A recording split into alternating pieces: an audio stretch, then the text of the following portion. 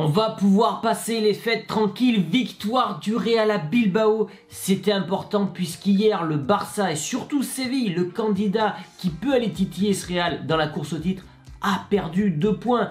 Tu te déplaçais ce soir à San Mames, un déplacement toujours compliqué. Et comme à Valence, cette année, le Real s'est imposé 2-1. Ce sont des déplacements où le Real, d'habitude, va perdre, va faire des matchs nuls. Et cette année, le bilan est incroyable. T'en es à 19 journées de Liga, 14 victoires, 4 nuls pour une seule défaite. Donc voilà, le Real est très bien parti pour gagner cette Liga. Pour l'instant, tu mets plus 8 au second qu'est Séville. Euh, très grande prestation de Kamavinga, de Benzema. On va revenir sur tout ça et surtout sur les tops et les flops en fin de vidéo. Pour toute l'actualité du ballon vous avez juste à suivre OneFootball. Vous aurez les résultats, les classements, les résumés des matchs. Bref, c'est ultra complet et surtout c'est 100% gratuit. Je vous mets le lien en description, ça soutient la chaîne. Ouais, tous tes concurrents avaient perdu des points. Euh, L'Atletico a perdu contre Grenade 2-1, c'est leur quatrième défaite consécutive. Alors toi aussi tu avais perdu des points contre Cadix face à un bus, c'était un match très fermé. Et là ce soir justement c'était un match super plaisant à regarder, sans regarder le résultat euh, du Real, de Bilbao, etc. Visuellement, c'était un match super agréable à voir parce que les deux équipes étaient ouvertes à proposer du jeu offensif et au bout de 9 minutes de jeu, il y avait déjà 3 buts. Un doublé de Benzema, un but monstrueux qui part de Vinicius, remise instantanée de Tony Cross. Cette remise, elle est tellement sous-estimée et frappe instantanée de Benzema, je vais vous mettre le screen, dans un angle improbable, une trajectoire incroyable, petit filet, la rencontre était déjà lancée. Alors pourquoi je dis que la, la passe décisive de Kroos est sous-estimée? Parce qu'il a mis dans le bon tempo à Benzema et surtout il la place au bon endroit. Et c'est cette passe de Tony Cross qui va inspirer Benzema. Parce que si la passe est trop forte, Benzema ne peut pas cadrer la frappe. Si la passe n'est pas bien euh, placée, Benzema ne peut pas tenter sa chance. La passe de Tony Cross est incroyable. Alors j'ai oublié de parler de la composition, il y avait quand même pas mal de changements. Il y avait 10 absents côté Real dans l'équipe A, il n'y avait pas Alaba en défense centrale. Donc l'équipe était composée donc de Mendy à gauche, Militao, Nacho dans l'axe et Lucas Vasquez à droite puisque Carvaral n'était pas là non plus. Au milieu de terrain, beaucoup de changements également. Seul Tony Cross était là parmi les trois légendaires. En numéro 6, Regista, il y avait Kamavinga qui a fait pour moi un match incroyable, on va y revenir après. Et enfin, il y avait Valverde qui remplaçait numériquement Modric. Et au niveau de l'attaque, c'était du classique, du moins sans surprise, Vinicius, Benzema et enfin Hazard. On va revenir sur la prestation du Belge. Donc globalement, le Real qui part tambour battant, le Real qui va même doubler la mise par Benzema. Malheureusement, quelques minutes après, et c'est ça qui a été dommage, c'est que le Real n'a pas pu conserver ce break. Il y a une frappe magnifique de Bilbao euh, pour le 2-1, et c'est finalement la seule manière de marquer actuellement contre Courtois, qui a battu son record personnel de clean sheet, du moins en durée.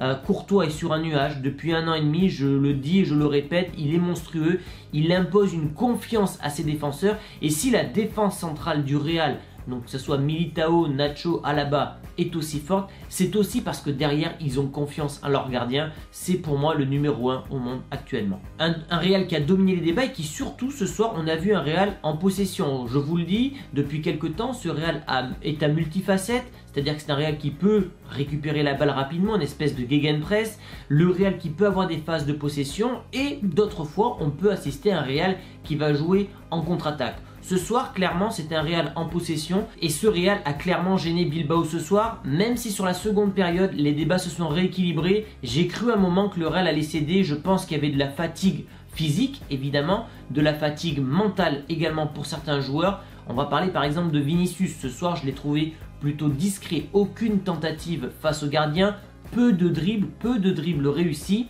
Vinicius, j'ai pas envie de les mettre dans les flops parce que quand tu vas gagner à San Mames, c'est difficile. Euh, donc j'ai pas envie de mettre des flops ce soir, mais c'est vrai qu'il est un peu en deçà depuis quelques, on va dire 2-3 matchs. Je pense qu'il est un peu fatigué, il a été euh, sur une lignée incroyable de matchs où il a explosé les débats. Là, il rentre un peu dans le rang. La pause de 10 jours, la trêve hivernale, va lui faire le plus grand bien. On va passer les amis au top et au flop rapidement. Donc Courtois, je l'ai trouvé excellent parce que bon, il encaisse un but ce soir, mais il ne, peut rien faire. Mais à plusieurs reprises, il a été présent euh, en, seconde période.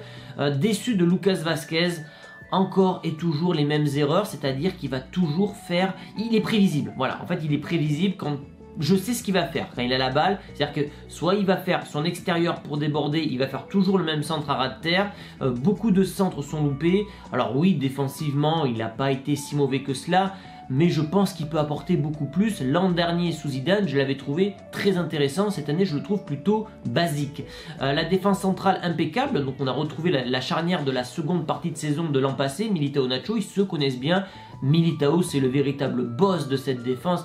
Physiquement, il en impose et lui, depuis un an, il est sur un nuage. Il a progressé. Il faut savoir que le Real, je vais faire une petite digression euh, sur, sur Militao, euh, il voulait s'acheter De Lirt. Ils étaient très intéressés par, par De.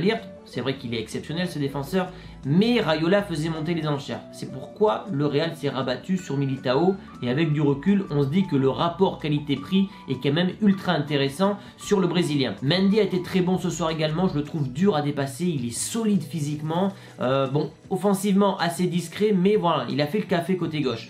Euh, voilà, on va parler par contre de Kamavinga, c'est le joueur qui m'a le plus euh, impressionné ce soir. Pourquoi? Parce qu'il est jeune, il n'a pas beaucoup de temps de jeu, il a joué en tant que régista, et franchement, lorsqu'il a la balle au pied, il a dirigé le jeu. Je cours, je long, il se projette vers l'avant, il tente des frappes de loin, il n'a peur de rien, je l'ai trouvé tout simplement excellent. C'est une véritable alternative à Casimiro dans un style totalement différent. Casimiro est plus rustre et Kamavinga va avoir ce style, que je répète, à la Redondo, ce gaucher magique, soyeux, Petit bémol quand même euh, sur Kamavinga, sa capacité à défendre. C'est-à-dire que quand il va avoir le ballon, il va être excellent. Quand il n'a pas le ballon, je le trouve quand même moyen. Il doit progresser. Il a tendance à beaucoup se jeter, à beaucoup tacler. Ce soir, il termine avec un jaune. Encore une fois, il prend beaucoup de jaunes, Kamavinga. Il peut terminer avec un rouge parce qu'il a fait beaucoup, beaucoup de fautes. Donc sa progression, ça va être le travail sans ballon et la récupération. Il peut apprendre d'un Casemiro. Cross, ben voilà, c'est du cross. C'est-à-dire qu'il est serein, il est calme. Euh, il aurait pu marquer en toute fin de match, mais voilà, il, dégage une sérénité ce joueur. Il arrive à annihiler le pressing adverse par ses transversales. Bref, c'est l'un de mes joueurs préférés côté Real. Valverde a été intéressant, même s'il a été brouillon parfois. Je trouve qu'il commence à retrouver son coffre. Lui, ses qualités, c'est le physique, c'est la verticalité, la puissance qu'il peut amener à ce Real. Ce soir, voilà, on a retrouvé ce physique. Il manque encore peut-être ce côté technique, euh, euh, ces liaisons avec les attaquants. Mais voilà, il monte en puissance. Lui aussi a été absent euh, pendant de nombreux matchs. Je suis content qu'il rejoue de nouveau. On va passer à l'attaque. Donc j'avais dit que j'étais déçu de Vinicius. Benzema extraordinaire. Donc il a inscrit ce soir, si je ne dis pas de bêtises, son 206e but avec le Real, son 400e but en carrière. Il faut savoir que dans toute la Liga, sa cible préférée, c'est Bilbao. 26 matchs, 16 buts. Donc voilà, un grand Karim Benzema, son 20e but de la saison. Il est sur un nuage cette saison. Bon, voilà, on va pas se répéter sur, sur Benzema. Et on va terminer sur Hazard. Alors, Hazard, ça fait deux fois qui joue quasiment 90 minutes de jeu. Il a été remplacé par le jeune Peter Federico, qui est un, jeune très prometteur du Castilla. Euh, Hazard, on voit pareil qu'il y a du progrès, mais c'est un joueur qui cruellement manque de confiance. À un moment, il peut tirer, il doit allumer le gardien pour le 3-1. Il ne le fait pas, il va faire une passe tellement téléphonée à Benzema qu'elle sera interceptée par le défenseur. Voilà, euh, il ne va plus provoquer le dribble, c'est-à-dire qu'à chaque fois son dribble, ça va être l'extérieur et j'accélère, donc il est prévisible par les défenseurs. Et beaucoup de fois, il va jouer en retrait, donc finalement, il n'apporte pas grand-chose.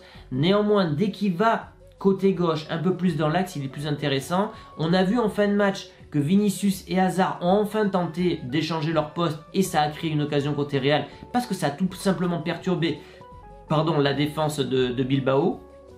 Mais voilà, il y a du progrès, il n'a quasiment pas joué cette saison donc c'est normal qu'il ait du mal. Mais voilà, on ne retrouvera pas le hasard de Chelsea, il faut s'en faire maintenant une raison. Voilà les amis pour ce débrief, on va pouvoir passer de bonnes fêtes. Euh, personnellement, je ne suis pas sûr de refaire une vidéo avant le 27. Pourquoi? J'ai envie de prendre un peu de temps avec ma famille. Euh, après, il y a Noël. Le 26 décembre, c'est mon anniversaire, donc pareil, je ne serai pas disponible pour faire une vidéo. Donc, sauf grosse actu, et donc, donc je serai obligé de faire une vidéo, euh, je pense que je reprendrai les vidéos à partir du 27 décembre. Donc, je vais tous vous souhaitez de bonnes fêtes, euh, profitez de vos proches, profitez de votre famille et je vous dis donc au 27 décembre pour une nouvelle vidéo les amis. Merci pour votre fidélité. Ciao